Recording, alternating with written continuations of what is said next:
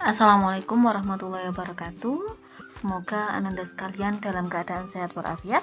Semangat untuk belajarnya. Pertemuan kali ini kita akan membahas mengenai dampak penggunaan handphone dan media sosial. Tentunya dampak positif dan juga dampak negatif. Terlebih dahulu, kita akan berdoa bersama-sama. Semoga diberikan kemudahan dan kelancaran serta ilmu yang bermanfaat. Berdoa dipersilahkan.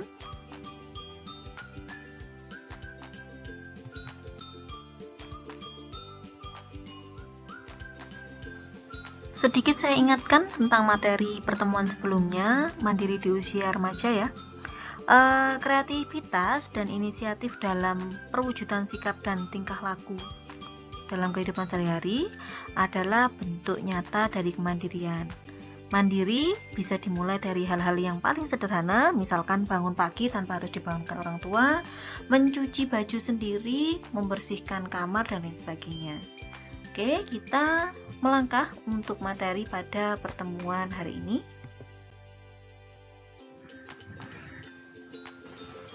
Nah, ini pembahasannya mengenai handphone. Coba kita sama-sama merenungkan. Handphone itu kan uh, alat ya, sebuah alat canggih. Tujuan dibuatnya handphone itu adalah untuk memberikan kemudahan dan juga memberikan hiburan bagi penggunanya. Namun, penggunaan yang berlebihan akan membawa dampak negatif bagi penggunanya. Saya yakin sampai semua sebenarnya sudah paham dengan hal ini, tapi kenapa harus uh, masih merenung dulu? Karena bisa jadi pahamnya tidak sampai pada tindakan. Oke lah, punya HP, buat apa kalau tidak dimanfaatkan? Tapi pemanfaatan yang berlebihan itulah yang terkadang belum bisa untuk dikontrol. Oke, coba kita lihat di slide berikutnya.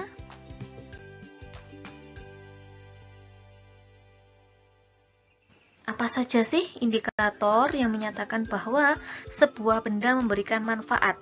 Coba dicek nanti dari uh, eh, HP-nya sampean, apakah sudah memenuhi unsur-unsur berikut. Suatu benda dikatakan membawa manfaat ketika satu meringankan kesulitan penggunanya.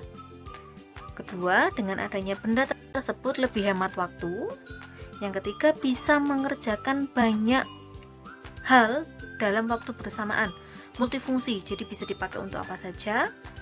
Memberikan pengetahuan bagi penggunanya, otomatis memberikan kemudahan, serta mendatangkan keuntungan. Coba dicek HP-nya sampean, nanti di poin yang kedua, tentang hemat waktu ini juga berarti dengan adanya HP itu pekerjaan sampai lebih cepat terselesaikan. Ataukah menjadi lebih lama karena satu menit buka video 10 menit buka IG satu menit buka GCR 30 menit nonton drakornya. Coba di evaluasi dirinya masing-masing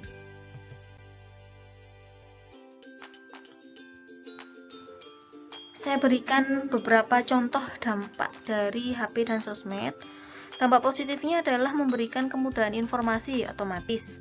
Jadi, akses internet itu akan membuat sampean mampu menjelajah informasi apa pun, kapan pun, dan di mana pun, selama pakai datanya tersedia atau tersambung dengan jaringan WiFi. Yang kedua, HP-nya sampean, juga sosmednya, bisa menjadi sarana untuk menyelesaikan beberapa jenis pekerjaan Tentunya selama ini kita komunikasi melalui WA group, kita juga menggunakan link video pembelajaran melalui YouTube dan mengumpulkan tugas melalui GCR. Berikutnya adalah sebagai salah satu sarana hiburan. Ini otomatis sama lebih paham tentang poin yang ketiga ini. Lalu dampak negatifnya apa? Penggunaan HP dan sosmed yang berlebihan akan merusak kesehatan mata terutama.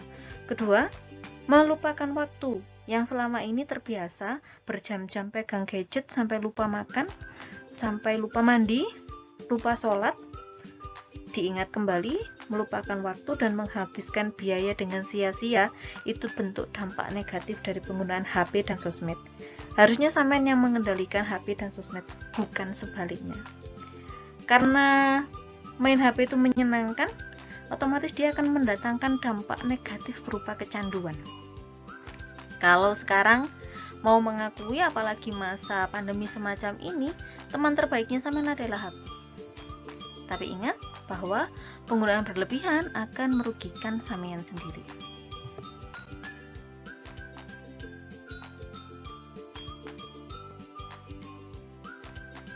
Silahkan introspeksi masing-masing. Coba disimak, sudahkah kalian memanfaatkan handphone dan sosmednya dengan tepat? Dengan tepat maksudnya, tadi indikator hal-hal yang menyatakan sesuatu itu berguna apakah sudah terpenuhi? Berikutnya yang pasti, apakah memang sejauh ini tidak berlebihan dalam pemanfaatannya? Yang paling tahu samia sendiri, yang bisa mengakui samia sendiri.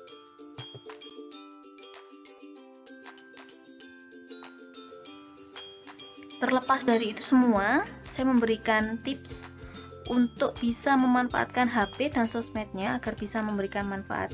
Yang pertama, harus memiliki mindset pola pikir tentang bagaimana fungsi seharusnya dari HP dan medsos. Satu untuk memudahkan pekerjaan, dua untuk hiburan tapi tidak boleh berlebihan.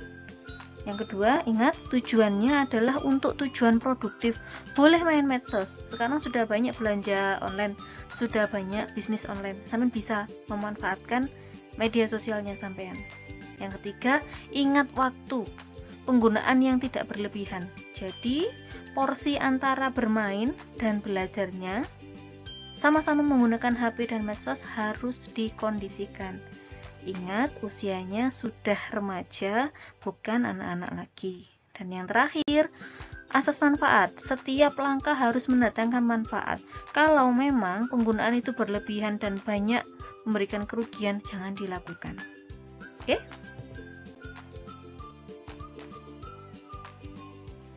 Tugas untuk pertemuan kali ini adalah tuliskan kembali indikator yang menyatakan bahwa sebuah benda memberikan manfaat. Diupload di GCR sesuai dengan waktu yang ditentukan.